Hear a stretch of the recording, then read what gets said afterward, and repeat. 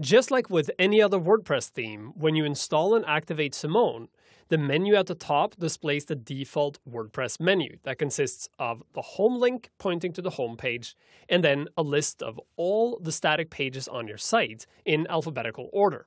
So in the demo site that I built for this course, I only have one static page called About. So that's why you see a menu containing only the home link and an About link.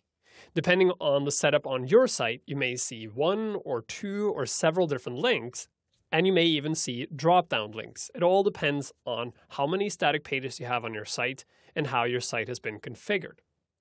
In most cases, though, you want to customize the menu to display exactly what you want. And you can do that with Simone.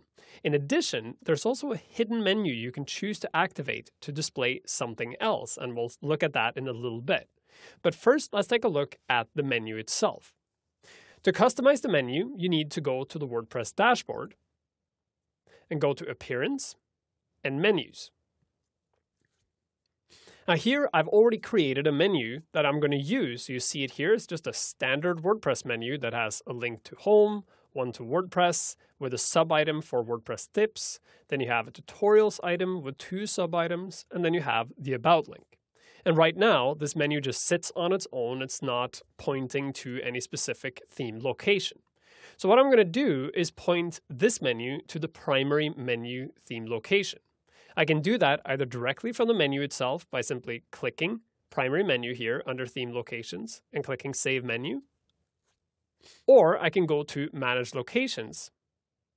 And here you see primary menu, and I can use the drop down to select the menu I want to display. But right now I only have one menu created within WordPress itself, so I only have that one option. Now that I've assigned the main menu to the primary menu area, I can open my front page in a separate tab, and you'll see my main menu now displays all the menu items. If I hover over WordPress, I get the dropdown with the WordPress tips. If I hover over tutorials, I get the dropdown with building a WordPress business and also web standards. And of course, I have the About page. If I go to any of these, you'll see that the current page gets highlighted. And the same will happen to a sub page. So if I have a sub item here that's an actual page and not a category like it is right now, you'll see that the main menu item is highlighted in gray, and then the one that's being displayed on the page will be highlighted in white. So that way, the user can easily see where he or she is on the site.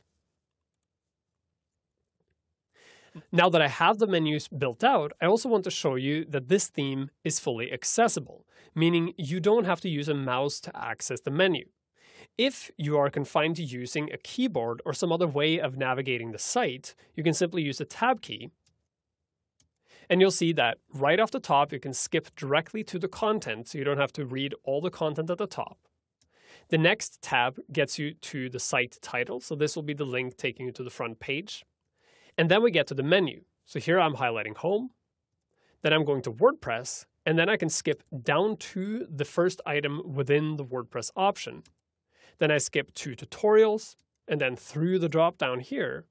And then finally to about, then the search option. And then I jump down to the main content. So as you add in new menu items here, you'll see that all of these menu items will be fully accessible using keyboards or other form of navigation. So that was the main menu, but I mentioned that there's an extra custom menu that you can choose to use if you want to. This is a social media menu that you can add in, and if you do so, you'll get social media icons appearing here on the right-hand side of the menu, right next to the search loop. So let me show you how to activate that menu. First, I'll go back to menus and click Edit Menus. Here, I'm going to create a new menu, and I'm going to call this menu Social Media or just social menu. And then I'm going to add a series of links to social media outlets. So here I'm going to add a link to Twitter. And this would be me on Twitter. I'll just say Twitter as the link text. It doesn't actually matter what the link text is here, and you'll see that in a bit. But it's a good idea to make the link text what you're actually pointing at. Then I'll say Facebook slash Linda.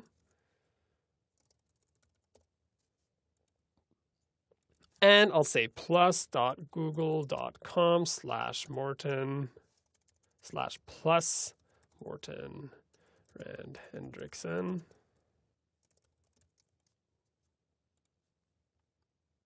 And I could go on like this with most common social media networks. Now that I have these links and they're pointing directly to those social media items, I'm simply going to check social menu down here and then click save menu. Now you noticed I did nothing with icons here, right? All I did was put in the Twitter link and then the name Twitter, same thing with Facebook and same thing with Google+. Now if I go and reload the page now,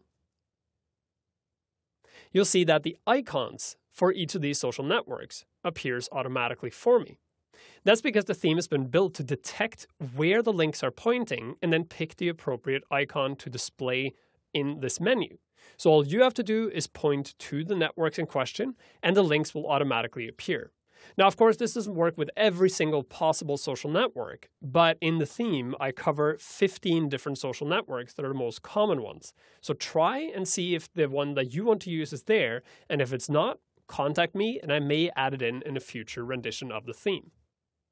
One final thing, the menu, just like everything else, is fully responsive, meaning if I reduce the width of my screen here down to a small width, you'll see that the menu changes to this menu button, and if you click on it, you get a drop down with all the menu items directly accessible. So that means if you're using a small device like a phone, the menu is just as functional as it is on a large screen like the one I'm using right now.